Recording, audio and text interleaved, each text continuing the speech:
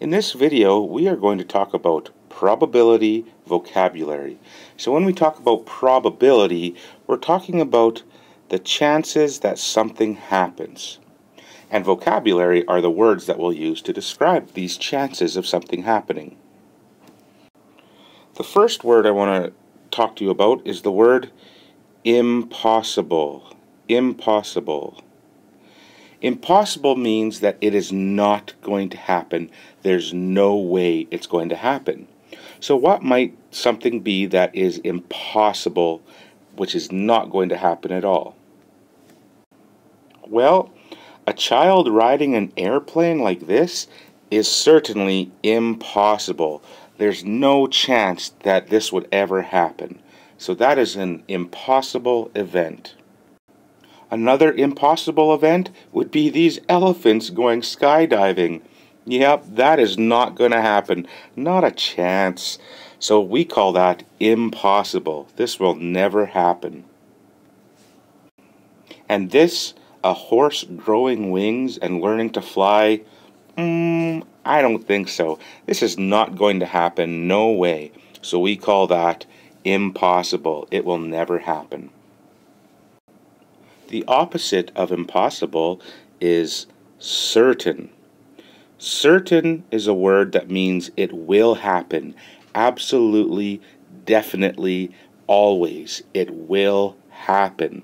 So, what's something that is certain? When we look at a calendar, we see that July always comes after June. Does it happen every year? Yeah, it does. July always comes after June, so we can say that that is a certain event. July is certain to come after June.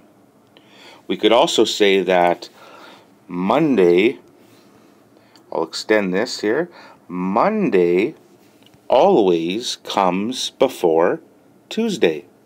That is certain. That's a certain event. So it's always going to happen. Monday will always come before Tuesday. That is certain.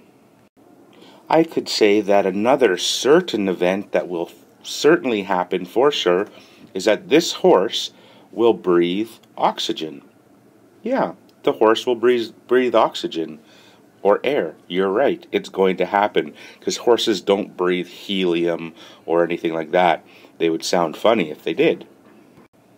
The next word I want you to know is the word possible. The word possible means it could happen. It might happen, it might not happen, but there's a chance it might. It could happen, which makes it possible. And sometimes we have possible but unlikely events, and those are events that they could happen because they're possible, but unlikely means probably not. They're probably not going to happen. Mr. Siemens going scuba diving next summer is possible, but unlikely. It's possible. There's a chance that I could go scuba diving, but because I don't like to go scuba diving, I'm going to say it's possible. There's a chance, but unlikely, which means it probably won't happen. Another possible but unlikely event would be Mr. Siemens walking along and finding a $100 bill on the ground. It's possible, there's a chance it could happen, but it probably won't. So we call that possible but unlikely. The next phrase is possible and likely which means there's a chance it'll happen because it's possible, and we call it likely because there's a really good chance it's going to happen. It will probably happen. Your mom or dad telling you to brush your teeth before bed? That's probably going to happen. So we say that's possible and likely because there's a good chance that's going to happen. Mr. Siemens going home today and reading a book is also possible and likely because Mr. Siemens reads books a lot of the time. So there's a chance it'll happen, and it's likely. There's a really good chance it'll happen. We don't say that Mr. Siemens reading a book is certain. It's not certain. Because what if I go home and something comes up and I don't end up reading a book? So we don't say it's certain because it's not guaranteed to happen, but because there's a really good chance that it'll happen, we say it's possible and likely.